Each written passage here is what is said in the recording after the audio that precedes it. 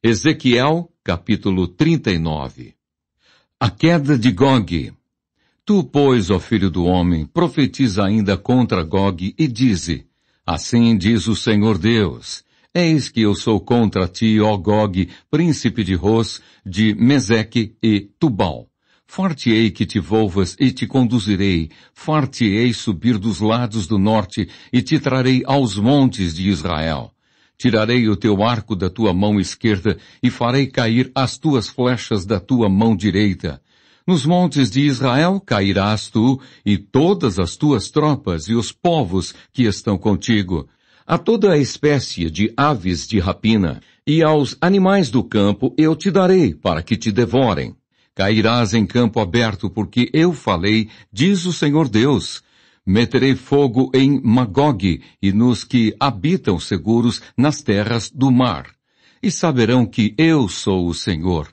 Farei conhecido o meu santo nome no meio do meu povo de Israel e nunca mais deixarei profanar o meu santo nome.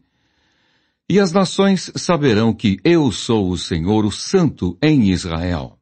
Eis que vem e se cumprirá, diz o Senhor Deus. Este é o dia de que tenho falado os habitantes das cidades de Israel sairão e queimarão de todo as armas, os escudos, os paveses, os arcos, as flechas, os bastões de mão e as lanças.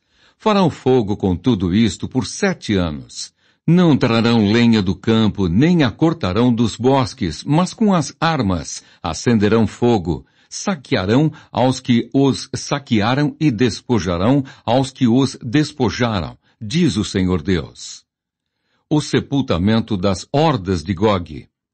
Naquele dia darei ali a Gog um lugar de sepultura em Israel, o Vale dos Viajantes, ao oriente do mar. Espantar-se-ão os que por ele passarem. Nele sepultarão a Gog e a todas as suas forças, e lhe chamarão o Vale das Forças de Gog. Durante sete meses estará a casa de Israel a sepultá-los, para limpar a terra. Sim, todo o povo da terra os sepultará. Ser-lhes-á memorável o dia em que eu for glorificado, diz o Senhor Deus. Serão separados homens que, sem cessar, percorrerão a terra para sepultar os que, entre os transeuntes, tenham ficado nela, para a limpar. Depois de sete meses, iniciarão a busca. Ao percorrerem eles a terra, a qual atravessarão, em vendo algum deles o osso de algum homem, porá ao lado um sinal, até que os enterradores o sepultem no vale das forças de Gog. Também o nome da cidade será o das forças. Assim limparão a terra.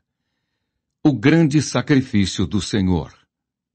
Tu, pois, ó filho do homem, assim diz o Senhor Deus.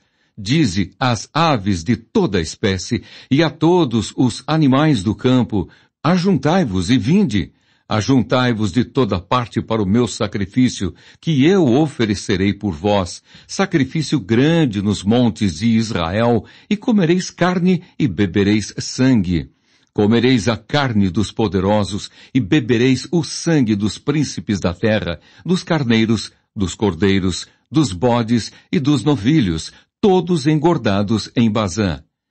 Do meu sacrifício que oferecerei por vós, Comereis a gordura até vos fartardes, e bebereis o sangue até vos embriagardes.